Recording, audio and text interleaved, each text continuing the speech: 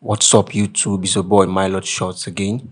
Here on this edit, I'm going to show you guys how to do um, an outdoor retouching and color grading.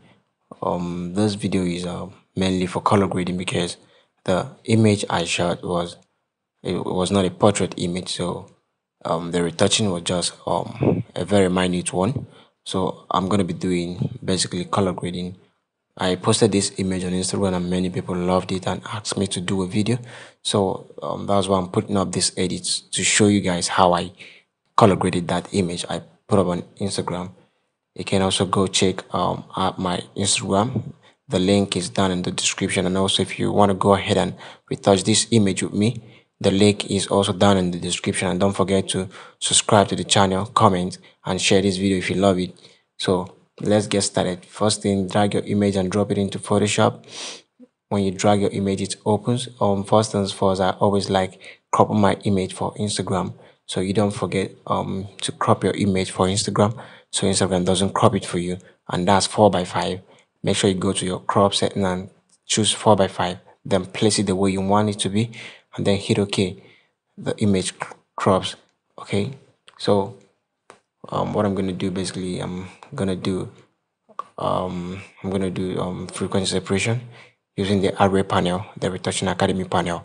That's what I use basically for um, all my um, retouching both my frequency separation because it actually facilitates my work. You know um, panels doesn't really make you a better retoucher. So my radius is 3 and high pass is 3 um, I use 3 because um, the image is not a portrait image. So the, the texture I'm getting from 3 is okay for me.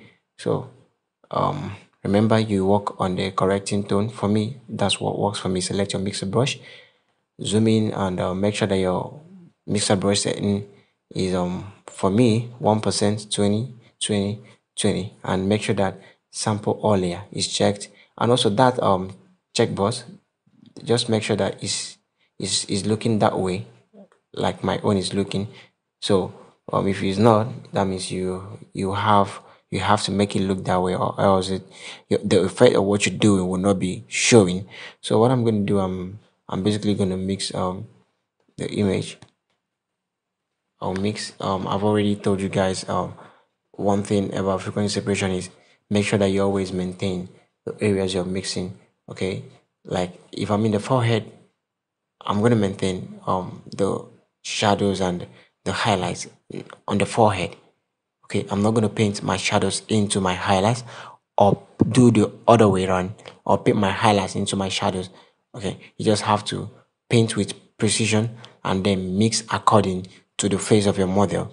So you just have to follow the stroke of a face okay?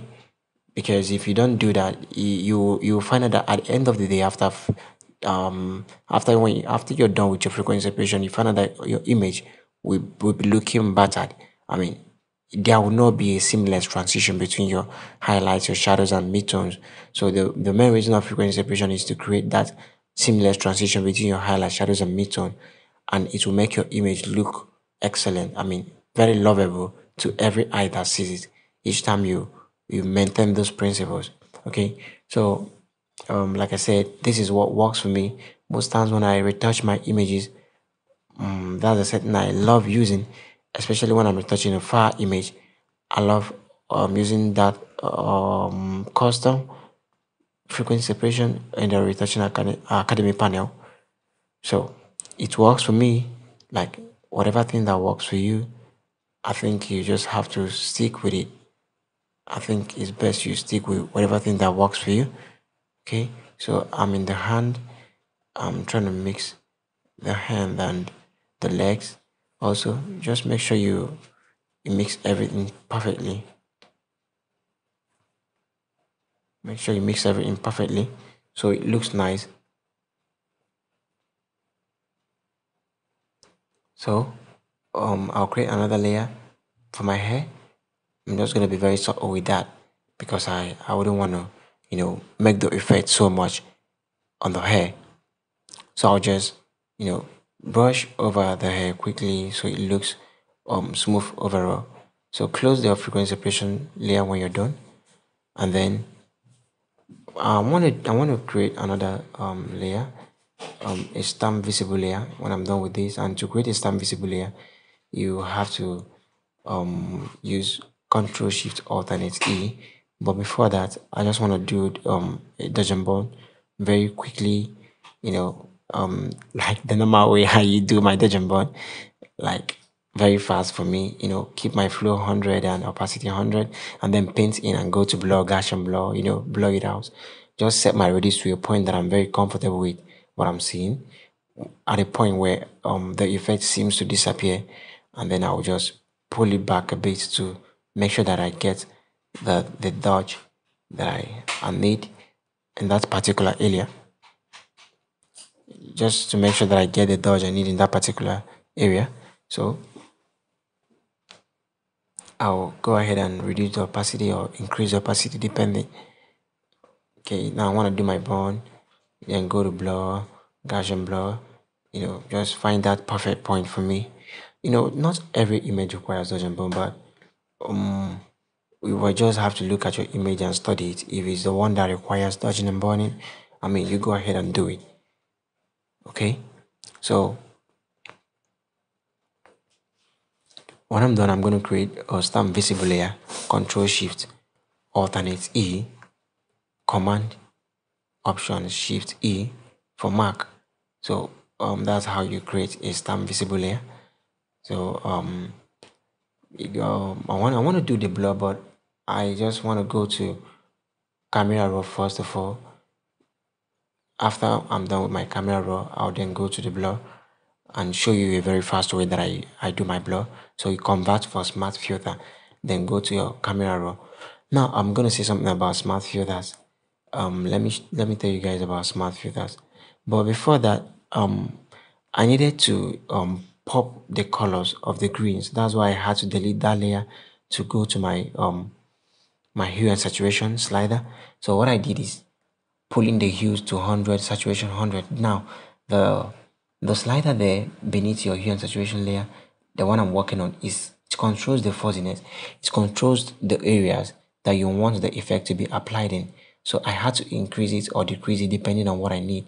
So remember, I after that I just brought back my hue and saturation to zero, everything zero, and then pull the saturation a bit up and then move the hue to the yellows because I wanna I wanna get um a bit of yellows on the background okay? So that's the slider. The slider is um is kind of is i will just call it a fuzziness slider because it controls um like the area you want your effect to be applied in and the area you you don't want it to be applied in. So you can always drag it up or back front um front and back i mean to say to get an overall effect. So i'll just go ahead and do my camera filter color grading. I'll still have to go back to the adjustment layers for for my color grading but I want to first of all do the camera raw.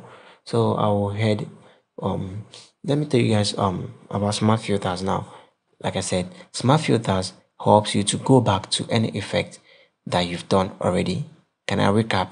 When you apply a smart filter if I'm done with this camera raw I can click back on the camera raw showing um on my layer and then go back to adjust whatever thing I felt like I didn't do right. Okay, so I'm gonna move the sliders, you know, to get that um perfect toning. Just watch my watch my settings. You can always play along with me in as much as you've downloaded this image. And you know, the color grading I'm doing now really is very nice for image with greeny background. So if you have a greeny background and you want to do this kind of color grading, I mean, it's going to give you an excellent result. You're going to be getting fantastic result from it. So just watch watch my settings and just put in the numbers. The way you're seeing them is really going to help.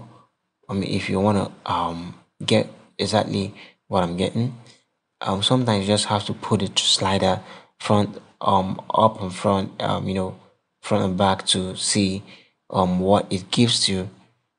So just gonna play with these um that's the hue and saturation the hue saturation and luminance slider the HSL slider.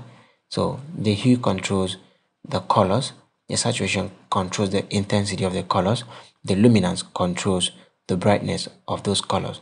So if I'm if I'm on the um red channel or the orange channel red channel or orange channel any channel that i am in i can always pull the slider front and back to determine the color um, i'm going to apply on that particular slider. The luminance controls the brightness of that slider. So the saturation controls the intensity of that slider. So basically you can use the HSL slider for your color grading. So I'll go to my curves and select the reds and then I'll pull down the reds to give me cyan um, on my shadows because you know red is opposite of cyan and both of them are complementing colors. So the colors complement each other. When you're having cyan on your background and you're having on your shadows and you're having red on your highlights i mean it makes it has a great pop. So um, yellow and um, blue are pretty much the same thing. So I can always pull in the blues um, in my shadows and then pull down the blues in my highlights to give me a yellow tint on my highlight. So I just um, put up the red. You can always pull down the greens to get cyan and then pull up yeah the highlight to add greens to your highlight.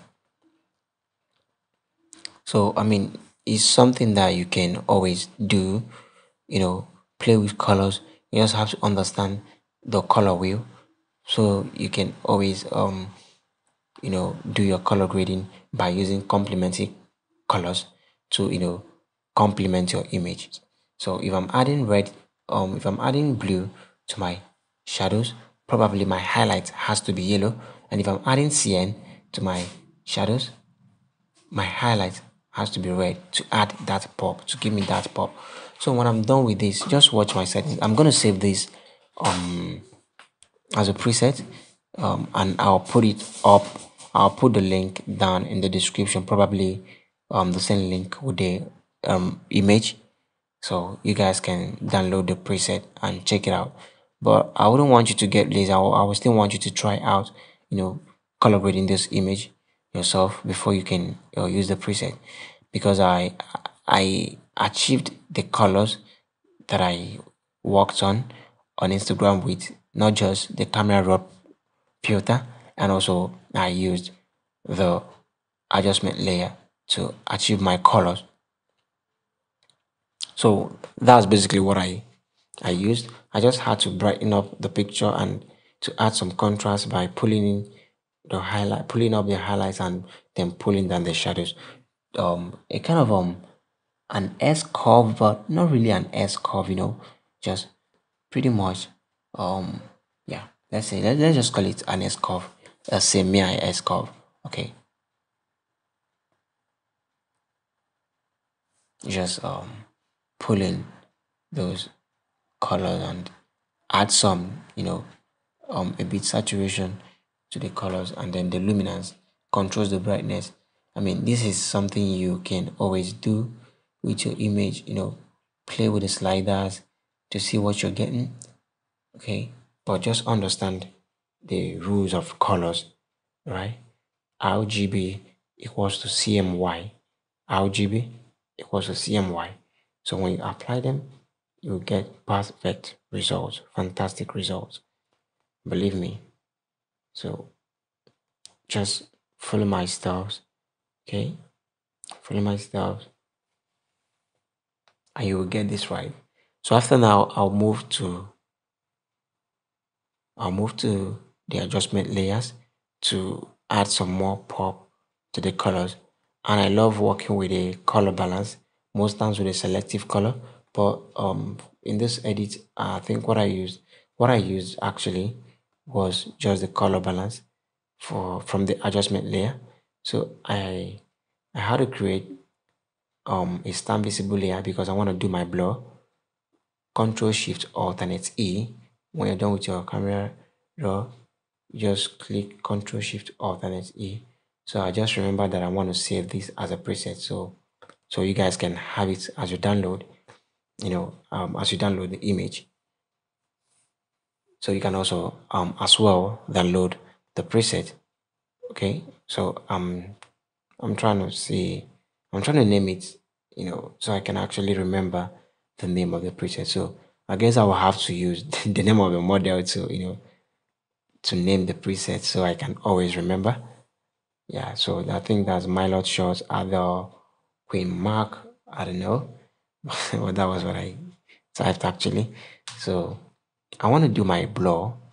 this is is funny, right? But is is um another way that I do my blur. I'll first of all create a stamp visible layer, Control Shift, Alternate E, convert for smart filter, and then go to my blur, Gaussian blur. So um set the radius to a point that I'm okay with it, and then hit OK. Now click on the layer mask. That's your layer mask down there. Your layer mask, the one that looks like a camera. Um yeah, there. Click on the layer mask. Then make sure that your brush is selected, normal brush, and make sure that the foreground color is black because you're trying to take away the effect. So press X to toggle between your foreground and your background and press D for default if your background of or, or your foreground color is having another color. So I'm going to just take take it easy, um, make the brush size small and paint away the places I don't want the blur effect to be in. I mean, it's a pretty way of doing your blur because I didn't feel like I wanted to, you know, um, use um, you know, mask the image using the selection tool or any of those tools, the pen tool or the polygon or lasso tool. I just felt like using the layer mask to, you know, do my blur. I mean, it's very fast for me, and besides, um, I I I kind of wanted it this way, so it's not it's not a deal breaker. You can always do whatever thing that works for you. But for this image, I felt like, yes, I just needed to do a very fast one. Even the one I posted on Instagram, that was the way I did it. I had to just mask out, but you have to zoom in, okay? Zoom in to your image. I just want to, I'll reduce the flow so, so I can actually, um, to around 12%, so I can actually mask out the other areas okay just to create that um tilt shift effect look and then clean the blur effect from the trees um i'll go to my color balance to color grade the image now the shadows i want red in the shadows so i'm pulling it back. Now i'm going to pull in uh, magenta to the shadows and then pulling blues to the shadows. I mean you can see the effect. So i'll go to my midtones and i feel like i want to add um a bit greens to my midtones and then add maybe probably yellow because midtones are still affected or I mean highlights are parts of the of midtones so just um go to the highlights and then add add um a bit red green you know just play with that slider. The shadows i think i need more of red in the shadows and more of um, magenta in the shadows and more of blue in the shadows. So i mean that's what you you have to you know do play with those sliders and understand how it works for you. So basically i'm okay with that. I'm just going to drag up this image and then mask because i want to i'm going to drag up the curves adjustment layer not the image actually. Then um, i'll press ctrl i to invert the layer mask and then use um, a white a white foreground. My foreground color is white flow 100 and paint in the models to apply some you know um light to to her face. Just want to brighten up her face and her body. So you know it's always doing what is working for you best. That's what i've always emphasized. So guys um this um the end of this tutorial you know don't forget to subscribe and um like. Probably i forgot one thing. I want to add some light effect.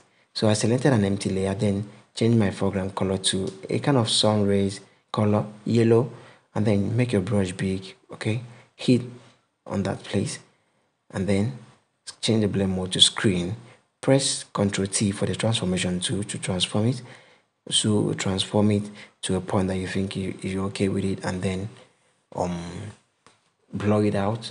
You can always blur it out and um, when you think that the effect is too much you you can always reduce the opacity opacity is your friend i've always been saying it opacity is your friend you can always reduce the opacity if you think the effect of what you've done overall is too much so guys um i think um I've come to the end of this video. So you guys should um, not forget to you know like, comment, share this video, and subscribe to the channel. Okay. Um, I'll see you guys on the next one. You guys are doing well. I really appreciate you guys. For those that have subscribed, thank you so much. I really appreciate.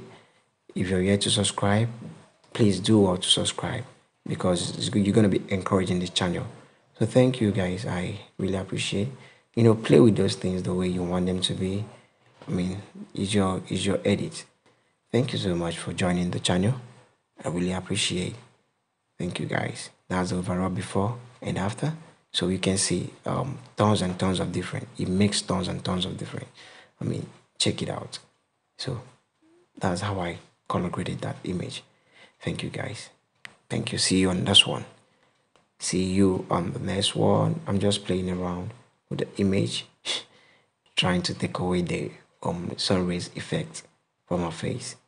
Yeah, I know I've said it. See you on the next one, and yet I'm gonna do another thing. See you on the next one, but this is the final one. so I'm done. Nothing, nothing. I'm not doing anything again. Okay, guys, thank you so much for joining my channel. I'm just trying to be funny today. you don't mind me. Thank you so much. I really appreciate it.